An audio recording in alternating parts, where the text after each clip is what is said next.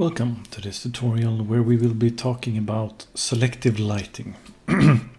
now this is a topic that is, as we're gonna see, is most useful for something like maybe a horror game or something like that, but you can use it for different uh, tricks and uh, effects in other genres as well.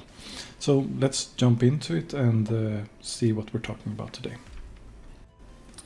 Before we continue, if you like what I do here on this channel and you want to support it, please consider subscribing, it helps the channel out a lot. Anyway, back to the video. So here we are inside of Unreal Engine 4.26. If you want to follow along today, what we have is a very simple setup. We have brought in two cubes over here. And in addition to that, we also have a light over here. And this is all that we will be playing around with today. Um, I also have an additional light which I can show here by clicking over here and you'll see that both of these objects are being illuminated and they're getting shadows cast from uh, these lights. But we have the ability to affect which items or which objects in the world will be affected by different light sources. So in this case here we have two different light sources and you can see that I've typed in channel as our filter on the actual object details panel. And you can see that if I click on the spotlights here, they both have the channel 0 marked here and there are two additional channels. All of the objects in the world, like these two objects of boxes, they also have these channels available to them and these corresponds directly to, to light sources. So if I were to say that I wanted this light source, let's actually remove one of the light sources so this becomes clearer. So if I want this light source to only affect one of these objects, I have the opportunity to do so. And I can do that by either going into this object over here and saying instead of listening to channel 0, it should listen to channel 1.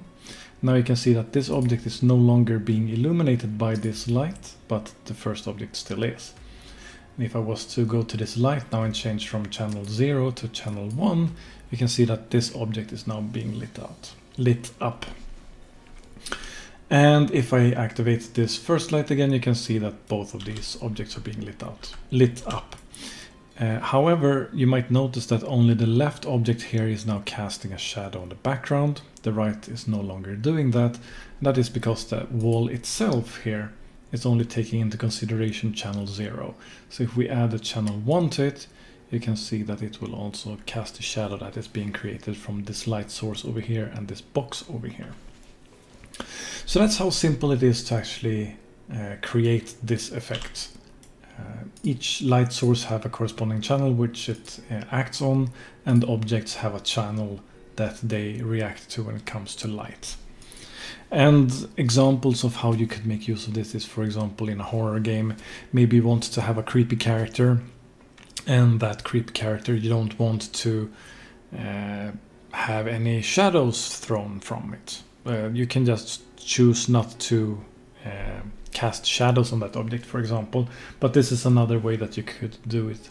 Another thing that you could do, for example, is to have a completely different uh, object's shadow being cast uh, so you have a discrepancy between the actual object and the shadow it's being casted on. Um, you you have the opportunity to here to play around with and create effects that um, allow you to tweak a little bit about what the player will actually experience when they're playing something that sort of feels a little bit weird, right? Uh, and also this is also possible to use if you want to have certain lighting conditions where you might have multiple lights, where you might want to have it uh, being lit from different places but only having cast shadow from one of the light sources and such things also. So, so there are a lot of different scenarios you could make use of this and it's also a very, very simple thing to achieve. Hopefully found this video helpful. If you liked the video, leave a like. If you did not like it, leave a dislike. Leave any suggestions or comments you have down below. Subscribe and share this video if you want to see more like it in the future. That is all for now. Keep on learning. Take care.